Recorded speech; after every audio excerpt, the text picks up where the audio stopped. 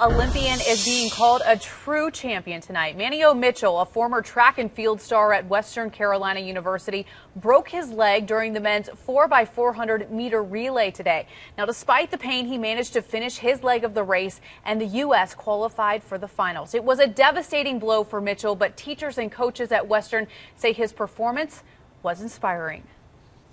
He's the first alum in Western Carolina history to make it to the Olympics.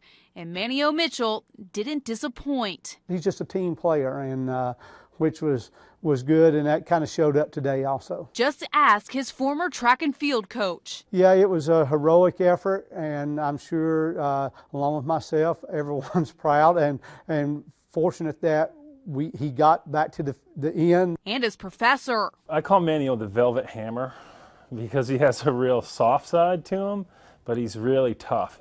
As the former Catamount was running the first leg of the 4x400 meter relay, he felt something pop. An x ray would later show he broke his fibula. Mitchell said earlier this week he slipped on a stairway and didn't think much of it until this morning.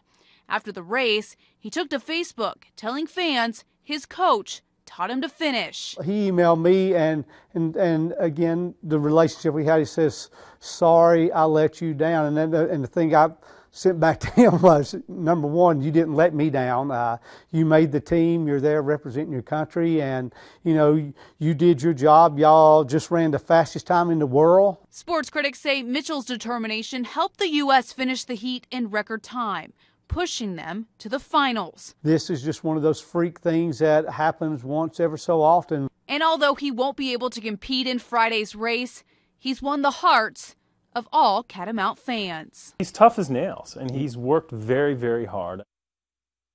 Team USA will announce the final lineup for the men's 4x400 meter relay tomorrow morning. Now, if the team does place, Mitchell will get a medal.